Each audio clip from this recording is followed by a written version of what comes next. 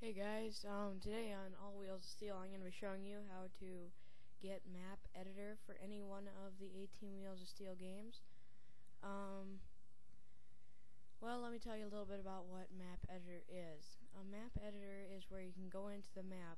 Um, it's like where you drive on um, the roads and all the buildings that you see, all the scenery you can make that your own. You can erase all of that stuff, put your own roads in, and have your own uh, routes.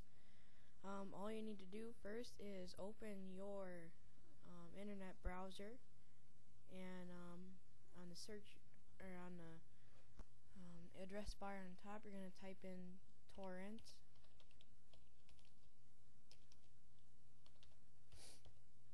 Reactor That's T O R R N T R E A C T O R dot net. And all this will be in the um, video description to your right, all the directions on how to do this.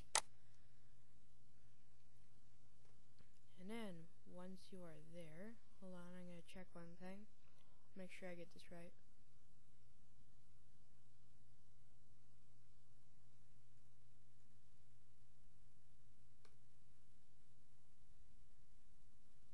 Okay, um, what you need to do is you need to type in your 18 Wheels of Steel game, so 18 Wheels of Steel, and I have American Long Haul, so I'm going to obviously type in American Long Haul.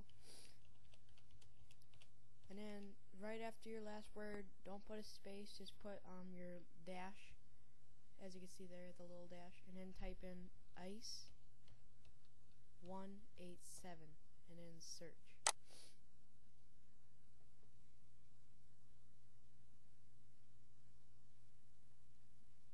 Um, there you go. As you can see, I have there are five here, and then over to the right here you'll see this health bar, and then all these are fully green, so you know that those are good. And you have download provider. All these are download provider. But look at this size. Get the one with the biggest size. So this one right here would be torrent. 18 wheels of steel. American Long Haul dash ice 187 and there it is download speed you can get it at two speeds. Um, 1042 gigabytes and 791 gigabytes. Um, this one's checked that means that this one's gonna work better. This this one's also good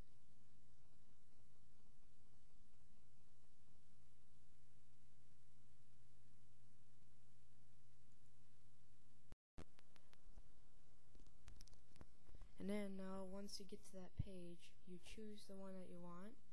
So let's just say I want to have this this one right here. So once that loads, um, my computer is kind of slow today. So then it'll come up with a server location that you have to choose. So what you do is you check what every country that you are in. So I'm in the United States. And see in the United States gets the best download speed. All of these get the worst. If you're in Canada, you have the second best. So then once you choose one, you click download.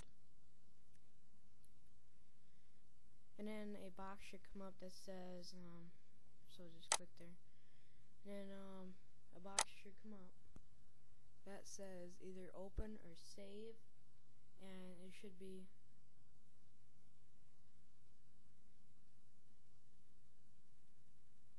and then the thing is with download provider is that you need to sign up. And I don't have an account with download provider so I'd have to make my own. But once you signed up the server should be accessed is approved, you sign up now. And then um, you just sign up, and then um, a box should come up. And if you already have uTorrent, which is right here, uTorrent, it should be going through uTorrent. Um, also, um, if you need uTorrent, you need to go to utorrent.com and download that. And you're also going to need Power ISO go to poweriso.com. Um, well, let's see here. Um, once yours is done, you click Open Containing Folder. And um, all of these are files that you're going to need to run through Power ISO. So what you're going to need to do is, um, so what you're going to need to do is you're going to click, and then you're to press Shift and go all the way down to the corner one. Press that, you're to say right click, Power ISO, and you, and if you did download Power ISO, you should have it right here. So you're to scroll down to Power ISO and then you're going to click Add to Image File.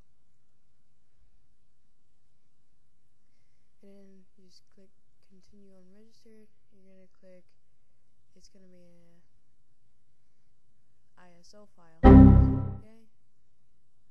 There you go, there are your files. So what you're going to need to do is you're going to need do that and you're going to click Extract. And then it should say that you need to save it first, so it's saving.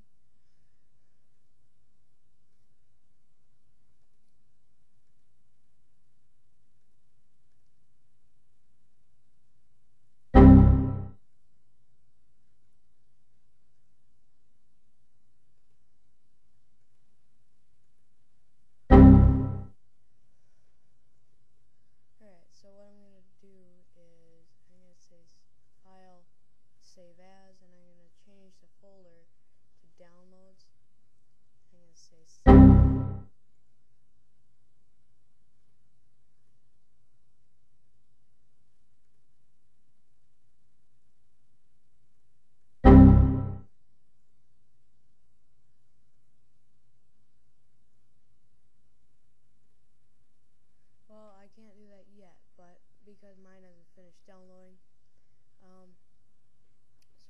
to do is you're just to click, hit shift, go to the bottom, click extract. It'll say that you need to save the program first, so you're to click save. Then once you extract, it should come up to a bunch of files down here. You're going to click setup.exe. But before you do that, you're going to click on the readme or whatever text document it is, and you're going to read how to do it because the author of it should have the readme ready to go. That's it for this time. Um, after mine does get down downloading, though, I will make a second one. So this is part one of part two. Thanks for watching. This has been an All Wheels of Steel production.